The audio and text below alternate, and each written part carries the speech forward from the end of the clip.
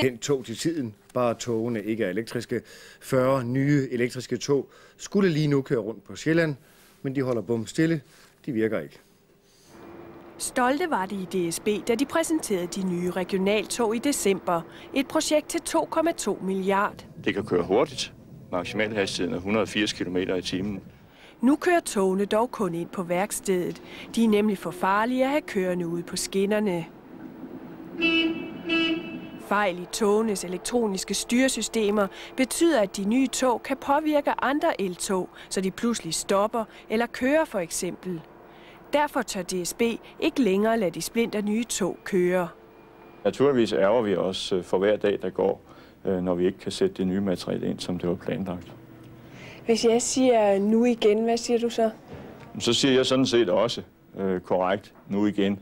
Ja, forsinkelser var der også med IC3-togene, og ligesom IC3, så er de nye tog lavet på togfabrikken ABB Scandia i Randers.